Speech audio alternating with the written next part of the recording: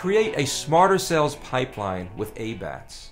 Hi, I'm Danny Wood with Sandler Training.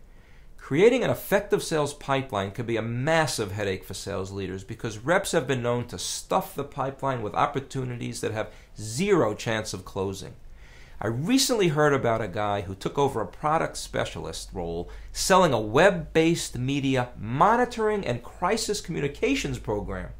In his first six weeks, that role was spent cutting a $3 million pipeline down to $160,000 of real qualified opportunities. Instead of pushing your reps to ABC, always be closing, ask them to focus on ABATs, always be advancing the sale. A steady drumbeat of ABC will inevitably result in sandbagging because your reps need to have quote unquote opportunities in the pipeline to close. ABATS allows your reps to only have real qualified opportunities in their pipeline.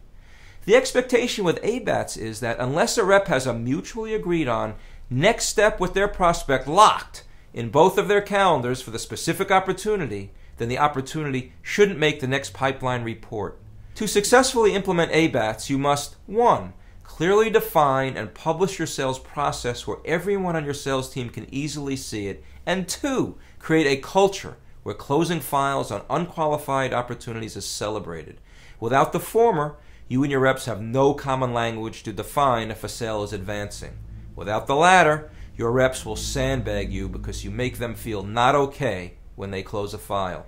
So I hope this helps you in your day to day sales management.